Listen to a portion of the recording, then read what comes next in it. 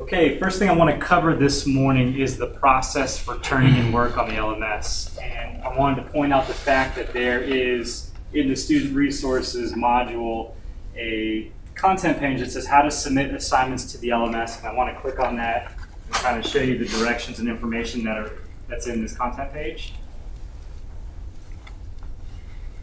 I think most of you are familiar with the process of submitting work when it's from Drive, meaning it's a Word document that's either saved on the computer or it's saved in your drive. And depending on where it's saved, you can either do a file upload and choose the file from wherever it is within your computer, or I can click on Google Docs, and when I do that, it'll give you access to your Google Drive. You could select the assignment and submit that there. The problem comes in when we have something that's in the notebook. If it's in the notebook, then it's not something that we can easily get to the drive without going through a few steps. So what we're going to do is uh, for those who are able to, we're going to use uh, our you know, iOS devices or phones or anything that can take a picture, and we're going to use a application called Cam Scanner. So you're going to need Cam Scanner, and you're going to need uh, Drive basically on your phone. And with those apps, you can follow the steps that I've laid out here. I think there's 12 steps that will allow you to take a picture from the notebook and add that picture to your Drive automatically as a PDF. That's a big thing in making sure that we're doing a PDF and not JPEGs because JPEGs don't work real well with SpeedGrader within the LMS. Okay? So I will be posting a video shortly that shows an actual demonstration of doing this. But for now, for those who are interested, I would have you follow these steps. It's pretty straightforward, and you should be able to add the image within your notebook to your drive, and then from there you could select your Google Docs to submit that. Okay, so for yesterday's activity 1.3, we may have had a submission of the page from your notebook and then a second submission from like the conclusion questions, which was a Word document. So in this case, two submissions for this activity. For anybody who's not able to use the app on their phone, we also have a scanner. So we have a place in the room with which we can scan the work. If you're going to go that route, I would ask that you have a flash drive. So with the scanner and your flash drive, we can scan images from your notebook. It'll automatically create PDFs out of those images, and then you can upload those to Google Docs or Google Drive before you submit them. So let's talk about today's activity then. We're moving on to 1.4, which is product improvement. We're going to start with the PowerPoint about brainstorming solutions. For those who are keeping track in the notebook, in the table of contents, today is September 2nd, and this is going to be notes on brainstorming solutions.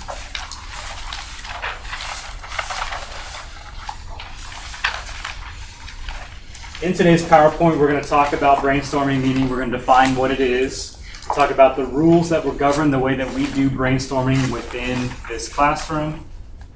We'll go over different types of techniques that can be used to do brainstorming. We'll talk about concept generation dysfunction, something that would prevent you from doing improper brainstorming. And then if you get stuck, what do we do? I get stuck, we're not really getting ideas, what's the process for that? So to define brainstorming, it would be something that is a group technique for solving problems, generating ideas, stimulating creative thinking, involves collecting ideas without regard to feasibility. So off the bat, even if it's not a possible solution to our problem, if it's something that you think of, we would add this to our starting list. The rules that we'll use for brainstorming, and we'll cover these individually, are no criticism allowed, work for quantity. So off the bat, we're looking for as many ideas as possible. We're going to welcome piling on, and I'll explain what that is, and then allow free for all. So starting with the first rule, no criticism allowed. There is the tendency to automatically evaluate what someone else suggests as an idea and you start thinking immediately, yes, that's a good idea, or no, that's a bad idea, yes, that would work, no, that's not going to work. We want to try to hold off on doing that. The idea is we want to allow all members to contribute. And if you have a tendency to immediately start criticizing someone else's idea, they're going to shut down. They're going to start, you know, stop generating ideas, and we want to avoid doing that. So no criticism allowed. We want to go for high quantity brainstorming. So the number is what we're, we're looking for, as many ideas as possible. Not necessarily has to be quality, quantity. And the idea is that if we do a brain drain, we will have, or hopefully come up with the most innovative and creative ideas.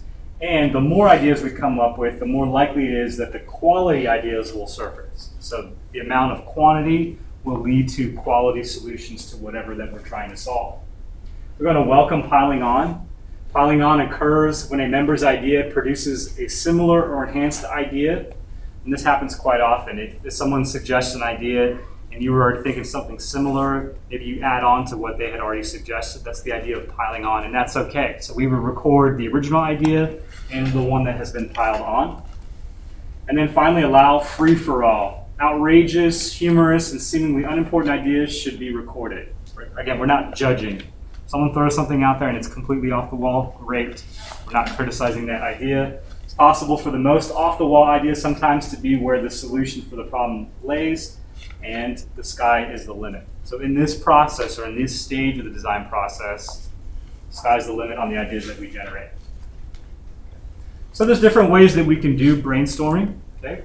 We can use post-it notes, meaning that we're looking for, in this case, upstream processing, product production. Use the different ideas of how to solve this problem. Each idea is put on a post-it note, and we put those onto the wall or onto a board free writing, which we'll probably do for the activity that we're going to start today. In the notebook, I'm just, you know, bullet points of ideas for brainstorming. Blurting out, like if we were in a class setting and if I were asking for you guys to generate ideas like right now, hey, what do you think about this? You know, people are shouting out answers. We probably want to document that somehow or putting it, written, writing it out. There's also what's called forced association. The ideas are created by mentally forcing the association of two seemingly unrelated items. We can use what's called a scamper. This is really great too if we're piling on, if we're making an addition to or innovating on something that already exists. So this is something that we could potentially use. You know, mind mapping, start with the basic idea, we branch off. So a visual way of brainstorming our solutions. Another example of mine, solving global warming. This is, you know, this is what we're trying to solve.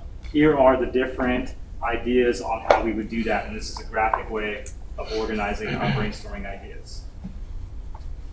When we're doing this, we want to make sure that we're documenting all of the work. So in today's activity, you'll work in pairs, and as a pair, I want to make sure that you're getting all of the ideas written down. So typically, there's going to be a note taker. If possible, take photographs of the ideas and compile ideas after the session. So if you are working as pairs and you're each generating ideas, we want to combine those lists. Again, we're going for quantity, as many ideas as possible. All right, so let's talk about then concept generation dysfunctions. What that means is it's something that's happening that's forcing you or it's, it's limiting your ability to brainstorm or come up with ideas. Some of the reasons why that might happen would be you're utilizing a poor design brief. So the design brief that you're using, which we haven't looked at before, but we will, is not worded properly or the problem's not clear. So having a poor brief would make it difficult to brainstorm. Assuming there's only one right answer, some people will get stuck on their first idea, like this is my idea to solve this problem, and then they have a hard time thinking of other ways to do it hooked on the first solution, considering ideas from only one team member. Remember the rules we talked about, we want everybody contributing to this process. And so these are reasons that would make brainstorming a little bit more difficult.